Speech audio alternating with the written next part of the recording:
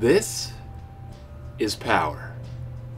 This is the power that killed the 32X. This is the power that killed the Atari Jaguar. This is the power that killed the Sega CD, the 3DO, and the Virtual Boy. This is the power that killed the Xbox One DRM, the Cell Architecture, THQ, Superbot, Lightbox Studios, Sony Liverpool, Eat, Sleep, and Play, Zipper Interactive. This is the power that is killing Capcom. This is the power we hold. It determines whether a company and its products live or die, succeed or fail.